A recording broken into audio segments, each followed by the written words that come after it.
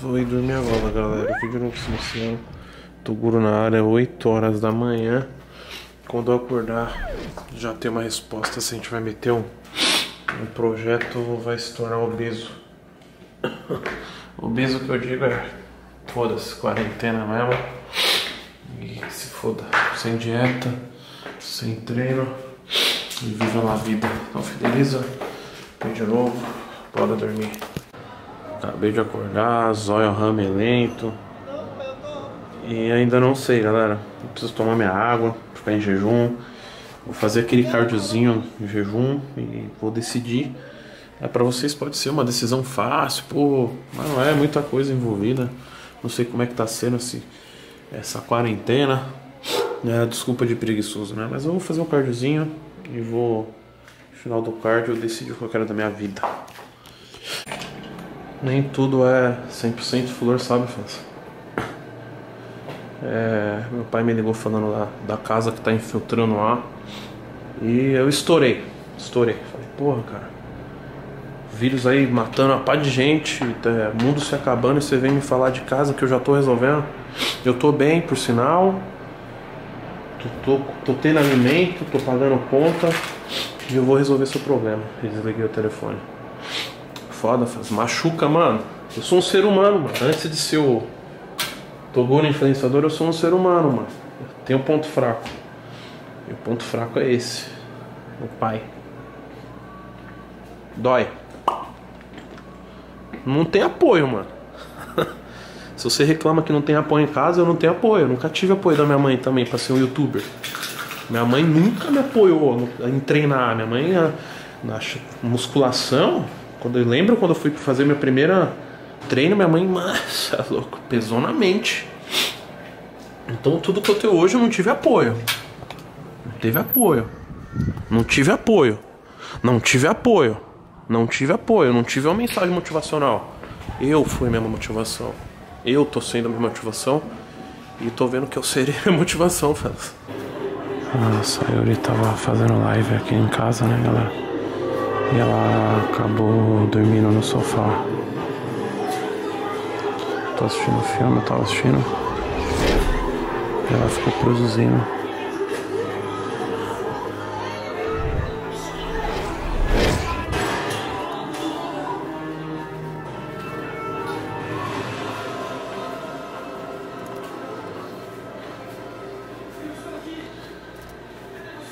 Eu vou ajudar essa menina, sabe?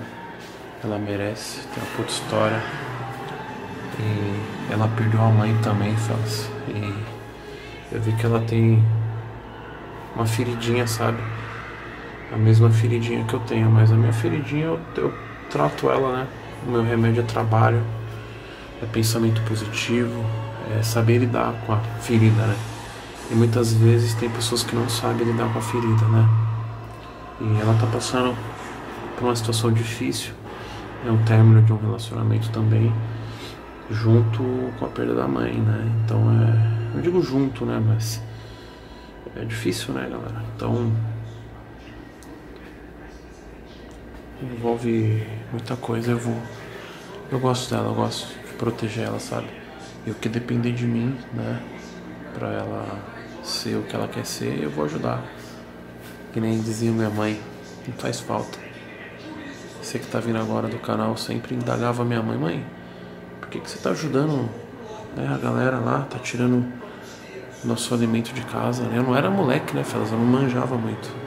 Minha mãe olhava para mim não faz falta, filho. Deus dá em dobro. Então, quero Deus dá em dobro para nós. Eu vou convidar ela para dormir no quartinho aqui, né? Para ela não ir, precisar ir pra rua. Merece, Felas. Tá junto com nós. É gente da gente história. Você está comigo? Sim. Sexta-feira, os pedreiros estão na ativa, os pintor. A vizinho já tá limpando aí ó, o quarto, a casa deles, né? Sujeira da porra também. Vizinho aqui fortaleceu, hein? Aí, ó, trocou, ó, lá, ficou mais clarinho, né? É isso. Trocou aqui, galera. Inclusive eu preciso pagar o cadinho. Pintou aqui, ó. Fiz ali o telhadinho. Organizando aqui o pauzinho. Tá limpo, hein? Caralho, esse pedreiro deixou limpo, ó. Você já veio de novo aí, você quer me ensinar a dançar mesmo, realmente? Certeza. O que, que vocês estão fazendo aí? TikTok. Já aproveita pra seguir a gente lá, MC Tem Princesa UFC. E o seu? Fez TikTok já? Fiz, é Avit Viana. Arroba Avit- Entendi nada. Avit Viana, mas é Avit Viana. Meu Mas você me mandando isso aí pra eu jogar TikTok. Tem Tá bom, TikTok tá também, bom. galera. Arroba Toguro. É, então tamo aí, mano.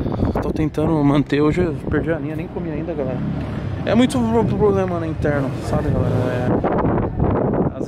A a mansão subindo, mas se o BO, resolver BO, pagar, BO de vizinho também. Os vizinhos daqui do lado, tranquilo comigo, mas os vizinhos que moram aqui, né? Na... Aqui tem casa de aluguel. Então tudo que acontece na casa de aluguel é culpa da, da, da construção aqui. Então parece que tem um fio de internet passando ali e o cara não quer tirar. Eu fui lá resolvi, porque tinha que pagar uma taxinha, eu paguei a taxinha, bora. Tô aqui pra resolver problema, resolver BO. Isso me estressa, sabe, Faz? É coisa pequena, né? Então acabei de resolver isso aí. Não só isso, né? Resolvendo só BO, mas é, eu já decidi, galera. Ano que vem a gente vai mudar essa mansão daqui, né? Pra não ter problema, eu gosto de problema. Muita gente fala que eu gosto de problema, eu gosto de, de, de disso, daquilo, mas eu odeio problema. E a minha missão é resolver problema. Estresse mata e muito menos. E estresse por coisa pequena mata mais ainda, sabe? Ninguém vê o quanto eu investi aqui né, pra vir brigar por coisa de internet. E falar que é da obra. Então estamos aqui para resolver. Nem que eu alugue isso aqui, né? E deixe para casa de aluguel aí, mas a, ano que vem, Deus quiser, vamos trabalhar. Vamos pé no chão e vamos mudar daqui. Não quero treta não. Tô longe de brigar por, por- não digo migalha, né? Mas por coisa pequena. Estresse mata, feras. Estresse mata. Então, a casa tá construindo, tá finalizando. Trocou, né? O colocou o mais fraco, precisa até pagar o menino. Pessoas que dedicam a vida a estudar esses temas, os infectologistas, estudando os uma conversa aqui na CNN, né? Brasil. E foi o que eu falei, galera. É, muita gente me pergunta a minha opinião. E eu falei que a minha opinião não é. Não consigo dar uma opinião porque a opinião deve ser dada aos especialistas, foi o que ela falou. Então, e ela deu na cabeça o momento que ela fala se quando um parente seu tiver com coronavírus, você vai dar para quem é, tomar conta? É um médico, um especialista ou o governo ou alguém que tá opinando, um vlogger, um youtuber? Então, galera, é muito difícil, cara, porque tem economia, né? A galera tá pensando também na economia, né? Empregos, então é- aí tem que envolver especialista de economia com especialista de saúde, com especialistas. Então são pessoas influentes, pessoas que estudam realmente. né? Se fosse falar de rede social, eu já poderia falar, mas eu não sou um especialista em economia. Por isso estamos em quarentena.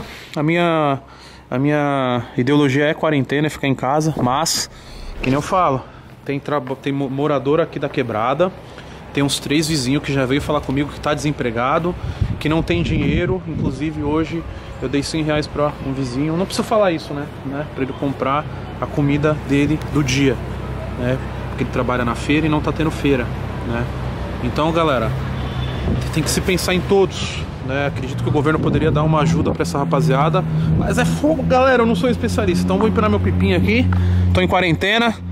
E tô em casa, viu, Felas? Tamo em casa, hein? Tem uns pipinhos aqui, mano. Os caras vão vir na minha lata. Na minha mão, no meu micróbio, mano. Porque os caras sabem que sou eu. Os caras não gostam de mim. Porque eu sabem que eu gravo só os que eu corto. Os que eu perco, eles ficam puta lá, ó. Nu! Não sei se dá pra ver, Felas. Pipão desbicando ali, fi.